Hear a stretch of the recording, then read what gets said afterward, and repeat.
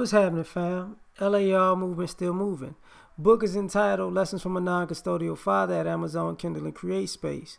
Link could be in the description box below as usual. Go get it. PayPal link there also they asked me to put it up, so I put it up. Thanks everybody for supporting. But this video though, this video is entitled You Weren't Supposed to Be a Competent Black Man. Find myself in these situations a few times this week. And I come to the realization as a perpetually that I wasn't supported in life like other people. And when I come to talk to sisters, a lot of them, even when they're successful, they have a heck of a support system who who wanted them to be better. But but but as far as the guys, we weren't supposed to be competent. We were just left to figure it out.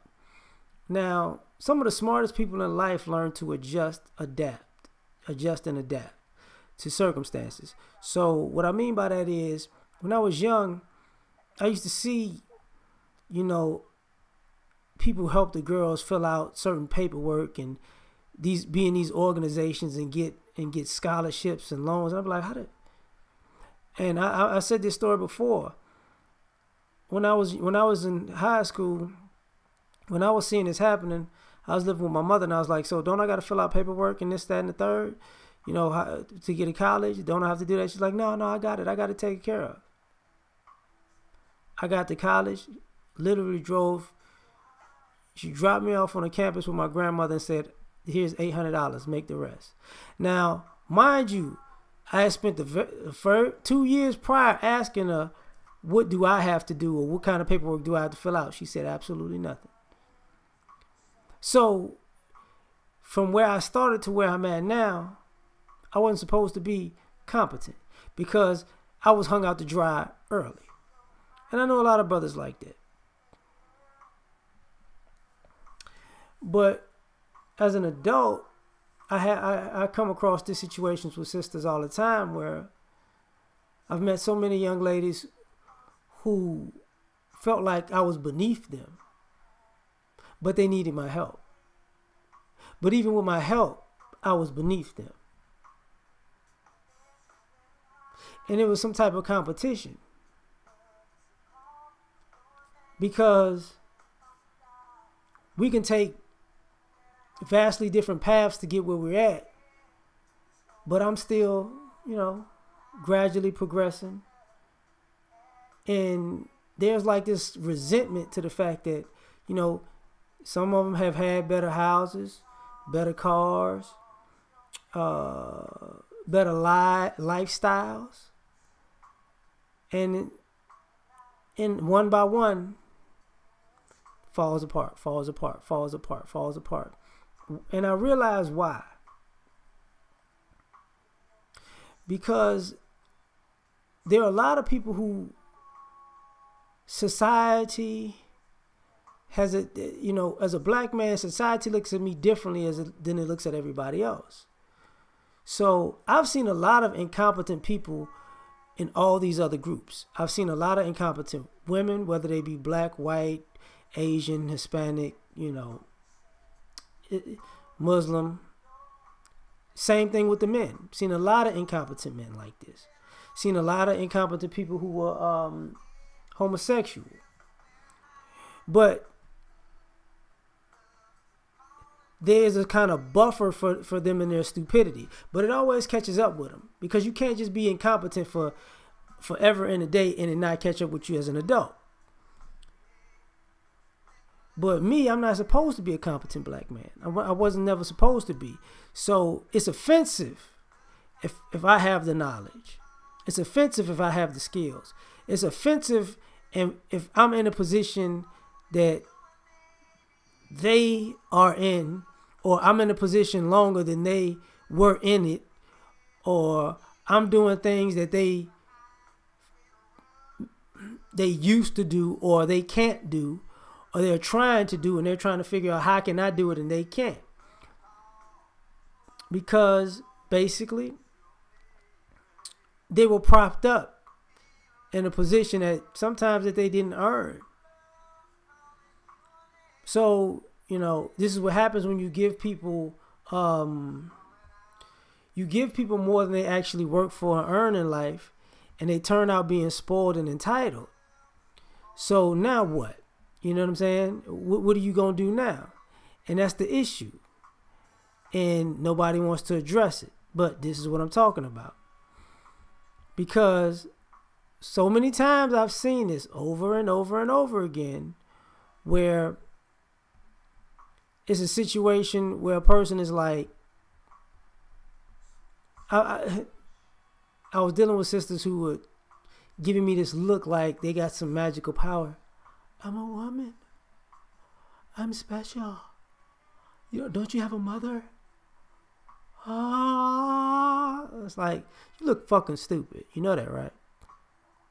I said the magical words that all moms say to their sons, and I know you're you you're stupid just like the other sons. You don't know anything. I'm your master. Like, okay, all right. You know you fucked up, right? But you weren't supposed to be the competent one, right? So they do these, you know, uh, uh, low key disses, low key sabotage, and then you keep moving and you keep moving, and they they keep getting madder and madder and madder.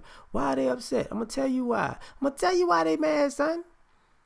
It's because at the end of the day, you were not supposed to be smarter than them because you wasn't raised to be smarter than them. You were not supposed to to be uh, uh, um, wiser than them and make better long term decisions than them because you wasn't raised to, to, to be in that position. You were not supposed to be skilled at anything. You were not raised to be put in a position where you think um, multifaceted.